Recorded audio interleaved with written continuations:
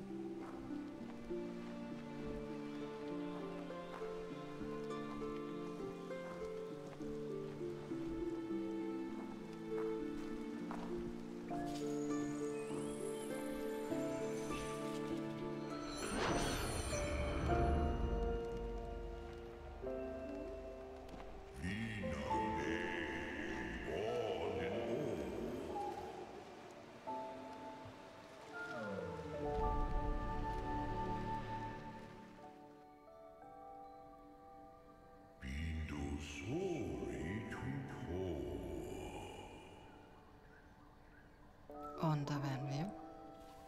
Wir spielen jetzt Ori, diese mehr als niedliche Mischung zwischen hm, Hundewelpen und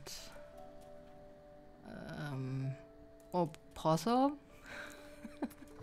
Keine Ahnung. Ja. Es ist ein Jump-and-Run-Spiel mit entsprechend viel Frustrations ja.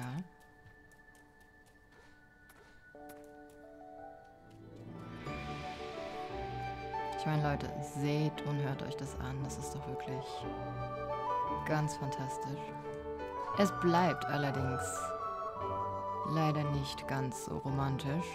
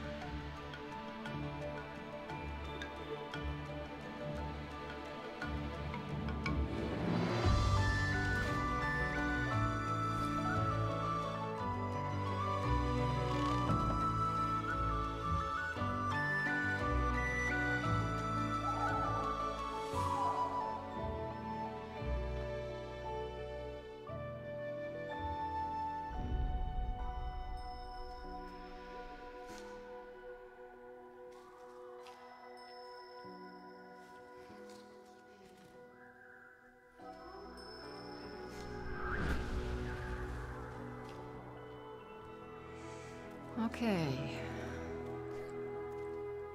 Ja, so Ori ist definitiv das süßeste leuchtende Hundebaby, das ich je gesehen habe. Ich weiß, dass er kein Hundebaby ist, aber nichtsdestotrotz.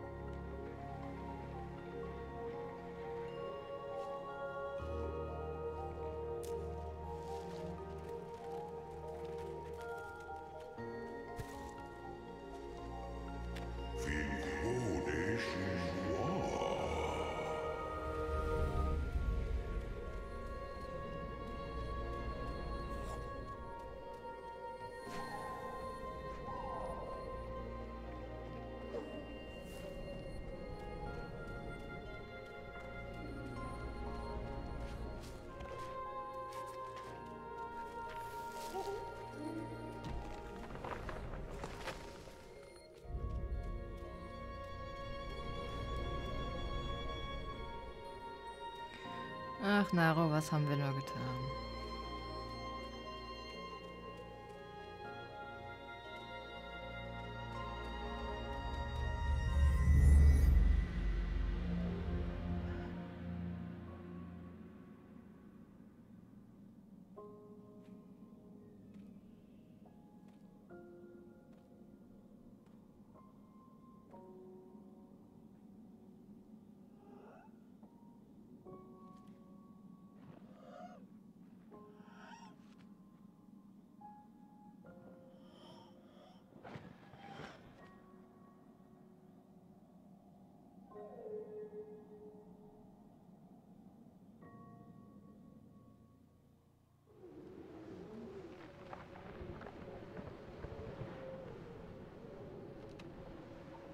Sing your Santar.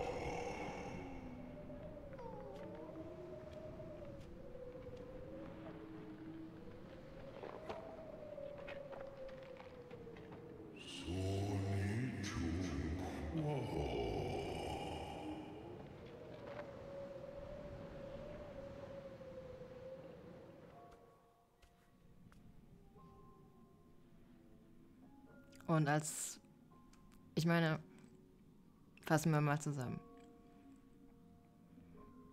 unsere Adoptivmutter ist gerade gestorben.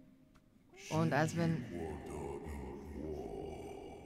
das nicht schon, sagen wir mal, traurig genug wäre, zwingt das Spiel euch jetzt weiter zu spielen. Bis zum letzten Atemzug.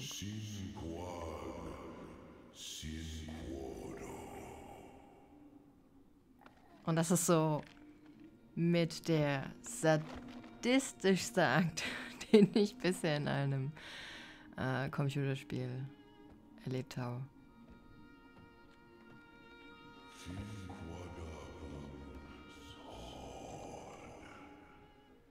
Und ich gehe weiter und weiter.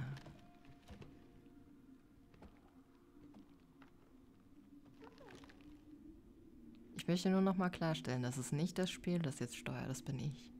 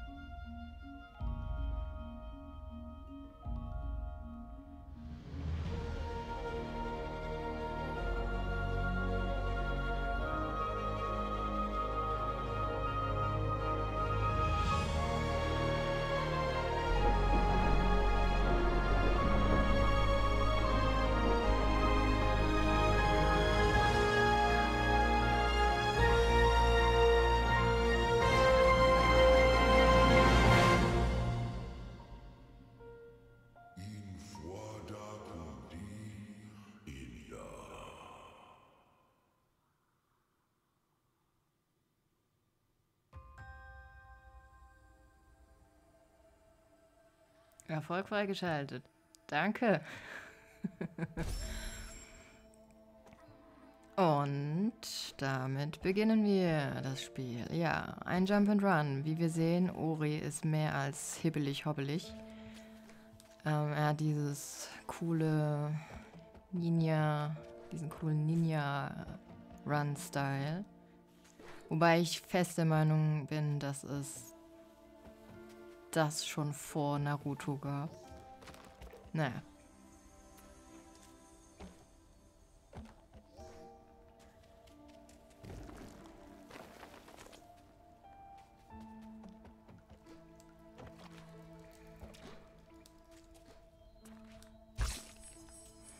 Der Spielmechanismus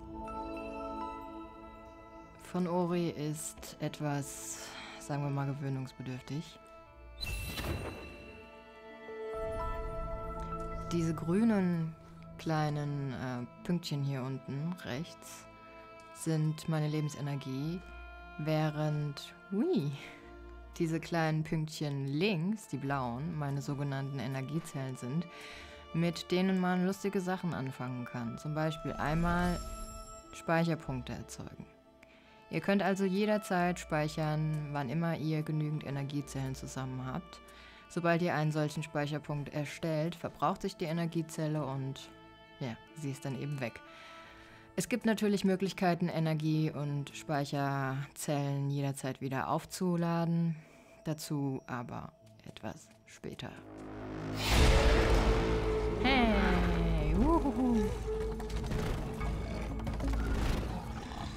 Nein, du sollst hier hin. Danke. Geisterlicht ist vergleichbar mit XP, also Erfahrungspunkten, weil ihr... Okay, jetzt halt noch nicht. Aber das können wir uns schon mal angucken. Hier in dem Menü findet ihr unter anderem die verschiedenen Fähigkeiten, die Ori erlangen kann, den Schwierigkeitsgrad, äh, Statistiken, hier Energiezellen, Lebenszellen, Geisterlichter, ich glaube, wie oft ihr gestorben seid, wie, lang, wie viel ihr vom Spiel sozusagen schon äh, vervollständigt habt und die Zeit.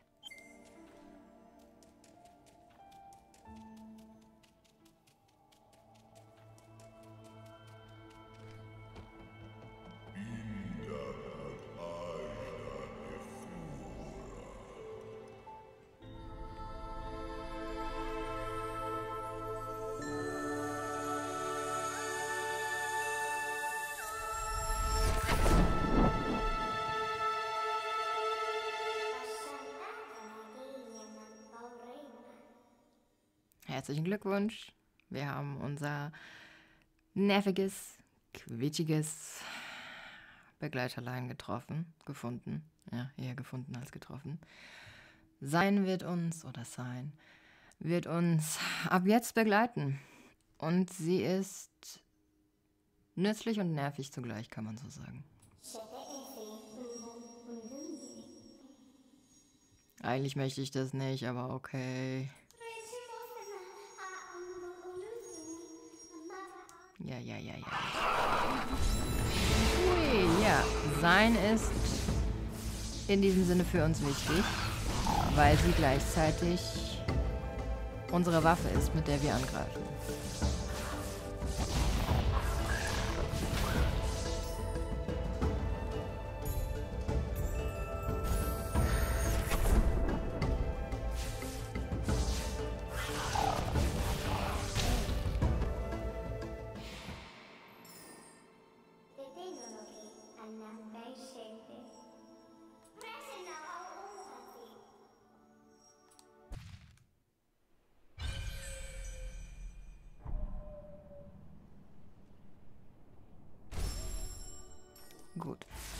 Mit Sein haben wir eine Möglichkeit, uns zu verteidigen und auch anzugreifen.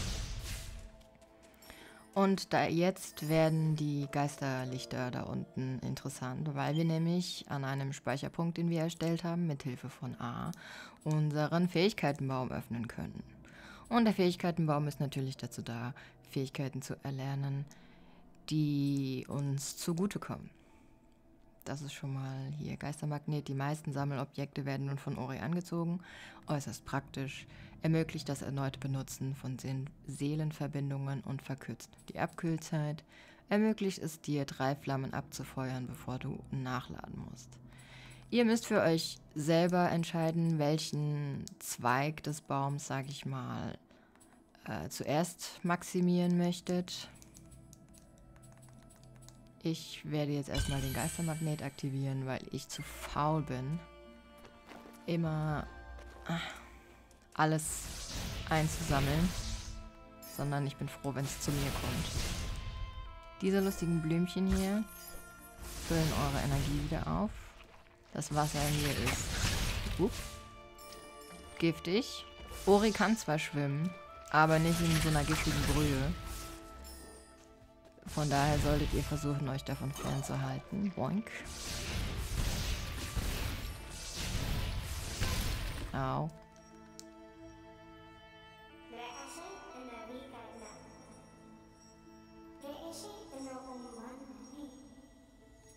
Richtig. Diese Geisterportale, ihr könnt einmal daran speichern und ihr könnt zwischen Geisterportalen hin und her teleportieren. Natürlich erst, wenn ihr mehr als ein einziges Geisterportal aktiviert habt. Ja, wir können leider noch nicht die Wände hochklettern.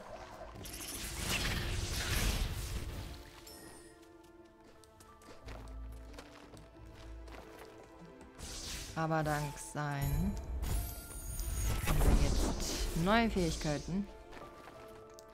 Na komm.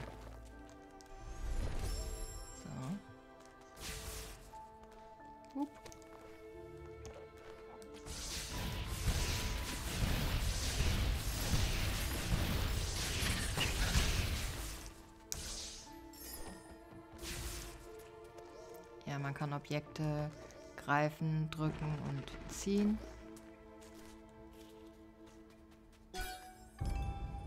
Schlüsselsteine benötigt man eben, um entsprechende Tore zu öffnen. Das Spiel stellt euch auch gleich, ehe ihr euch versehen könnt, könnt vor so ein Tor. Da. Ja. Ja, das habe ich gerade erklärt.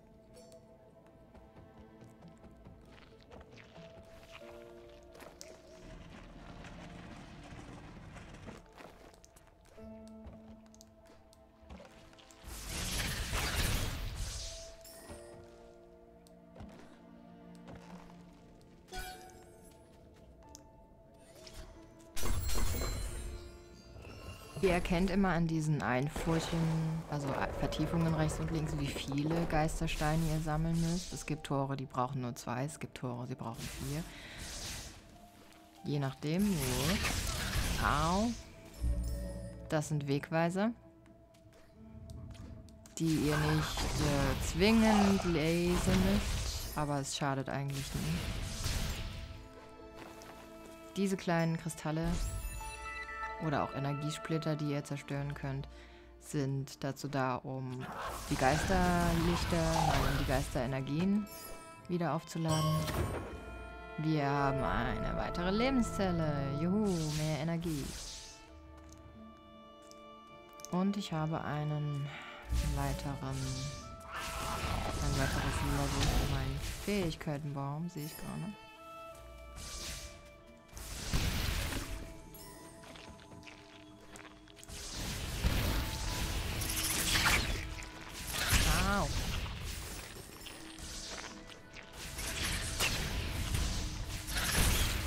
Und wie bei so vielen Metroidvania-ähnlichen Spielen ist es auch bei Ori so, dass ihr sehr viel Backtracking machen müsst, einfach weil ihr entsprechende Fähigkeiten, die euch im Spiel weiterbringen, erst später erhalten werdet.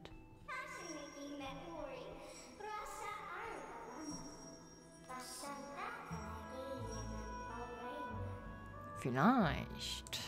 Vielleicht sind wir das dann. Ah, so.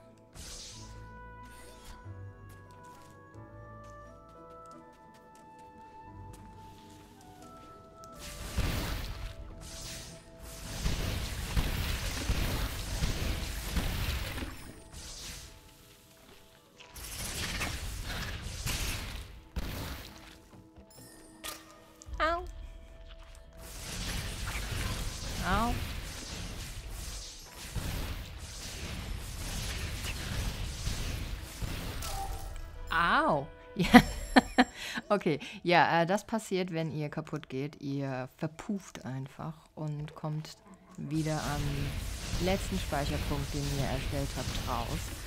Und ich kann euch gleich sagen, dass Sterben äh, ja ein, ein etwas ganz ganz nat natürliches, normales in diesem Spiel sein wird. Ihr werdet sehr, sehr viel sterben. Auch ich werde sehr, sehr viel sterben weil dieses Spiel einfach durch diese Dynamik, die es beherrscht, äh, euch dazu verleitet, nicht so wirklich darauf zu achten, was um euch herum passiert, weil es einfach so viel Spaß macht, durch die Gegend zu rennen und zu hüpfen mit Ori.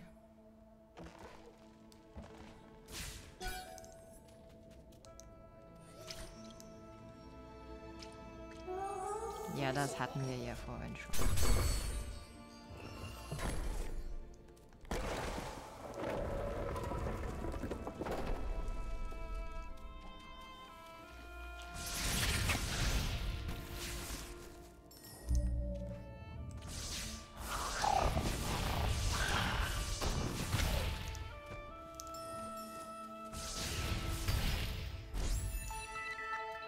So, diesmal speichere ich vorher.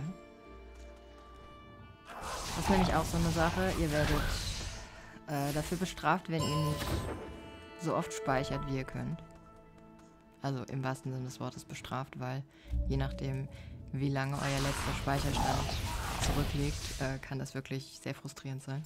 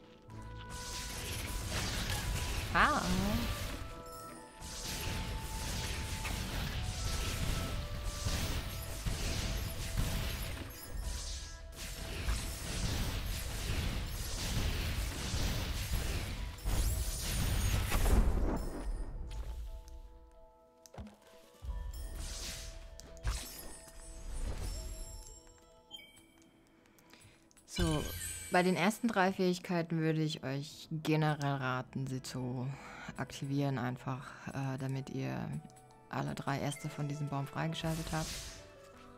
Flupp.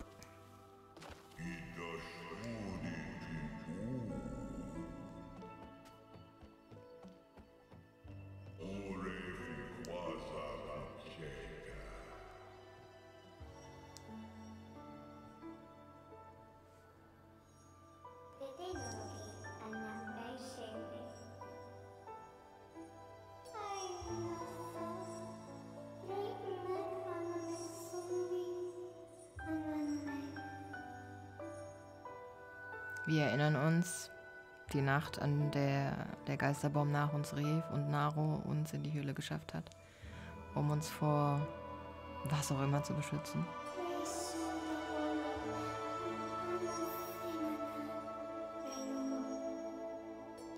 Diese Stammbäume sind über das ganze, über die ganze Welt verteilt und sie sind wichtig, denn von ihnen lernen wir neue Fähigkeiten.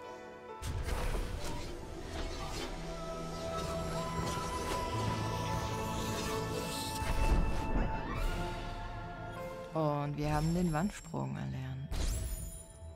Und wenn wir jetzt hier in dieses Menü gehen, dann sehen wir, zum einen haben wir die Geisterflammenfähigkeit und jetzt haben wir den Wandsprung.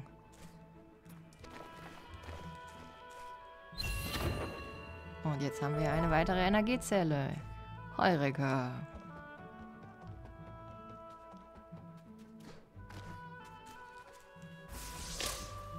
Au.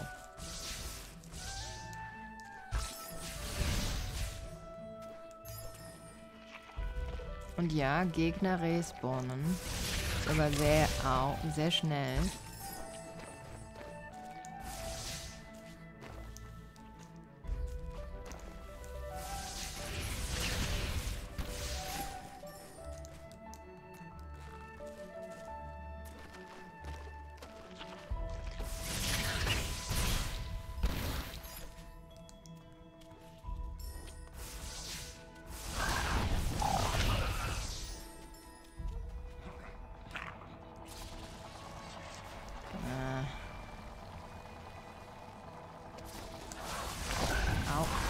Solltest über mich drüber springen und nicht auf mich drauf.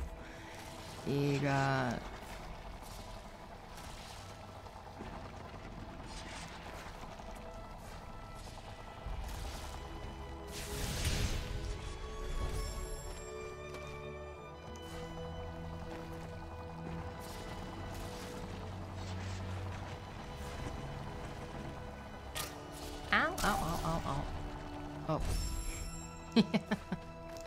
Also wie gesagt, ähm, Sterben ist in diesem Spiel in gewisser Weise omnipräsent und es wird sehr, sehr häufig passieren.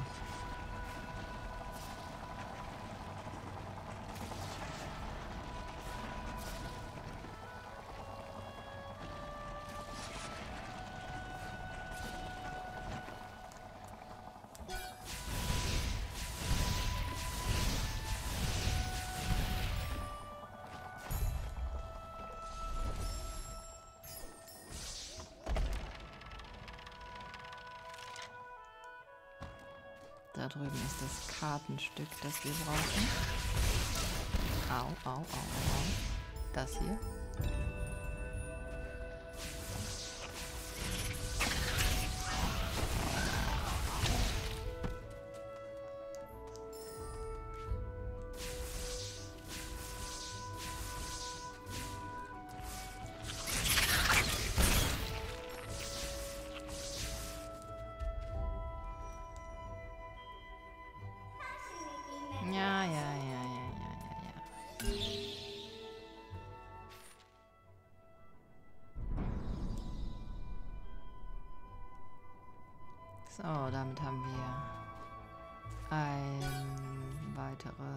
Erfolg freigeschaltet und einen weiteren Teil der Karte freigeschaltet. So, und jetzt wäre es ganz gut, wenn ich mal wieder speichern könnte.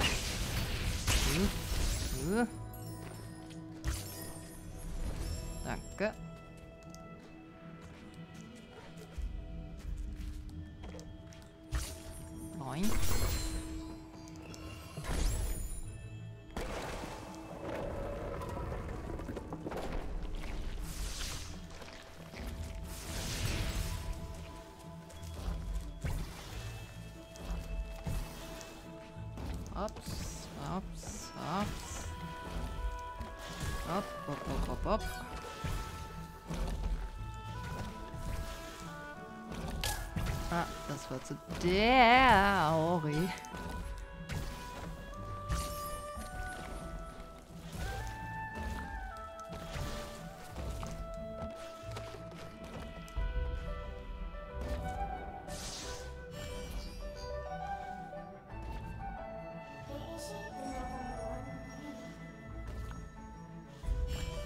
Also diese Tore öffnen sich nur, wenn wir entsprechend von unseren kleinen blauen Kügelchen unten haben. Wir haben leider nur zwei. Von daher wird sich dieses Tor für uns leider noch nicht öffnen.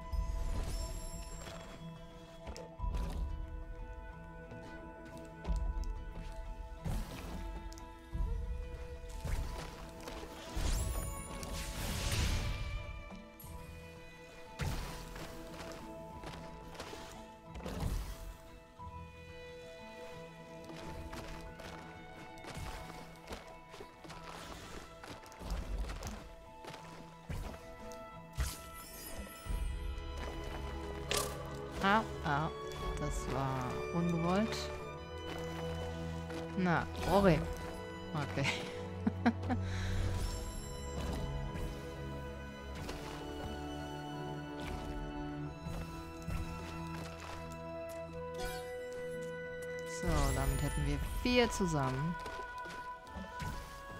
Ups. Ach ja, richtig. Da war ja was. Ups. Ups.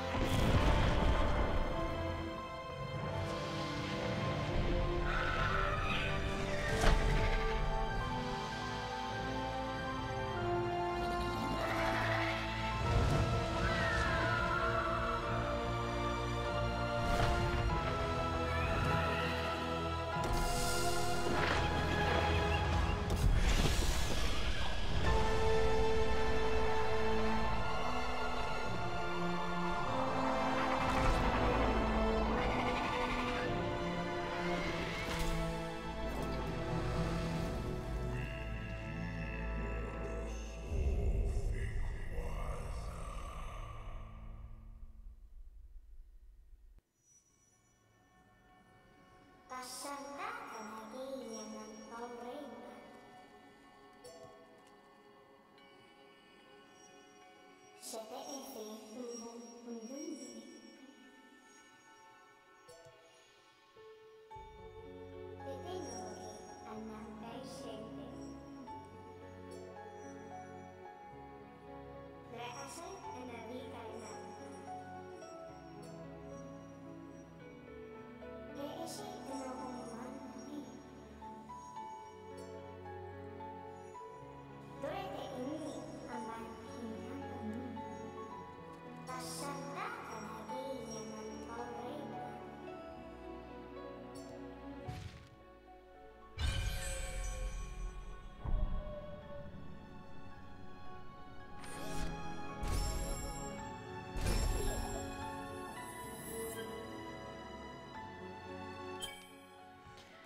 Okay, also, wie ihr seht, dass es so ist, wie es ist, ist unsere Schuld, also Oris und seins.